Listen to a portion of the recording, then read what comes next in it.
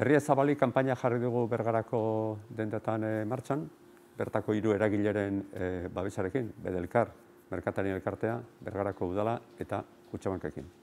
Naiz eta gara itxarrak izan, gara izan COVID-19 gatik, herritarrasko kartute parte, milak herritar kartute parte, eta nina oso poziko dut baita ere beste irurogei dendek bat indutelako kanpaina horrekin.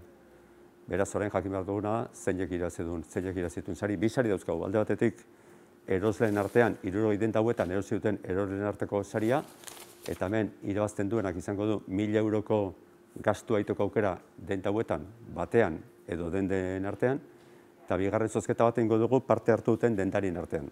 Lehen aipatu dugun bedelkar, elkarte hortako dendarien artean. Eta hemen, irurogei dendek hartute parte. Beraz, jakitezagun orain, zein den irabazlea herritaren artean, erosketak indituztenen artean. Gogoratu, izango dutela irabazleak izango dela, mila euroko gastu egiteko aukera den dauetan. Aber, zein den, irabazlea, aitana gantxegi. Beraz, zorionak aitana, zuretzat da saria. Mila euro, irurogei den dauetan, egiteko, gastu egiteko aukerarekin. Eta bigarren goen arten, irurogei den dauen artean, zein den, lonbide oinetakoak.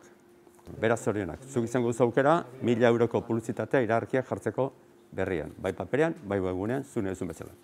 Beraz, eskerrik asko.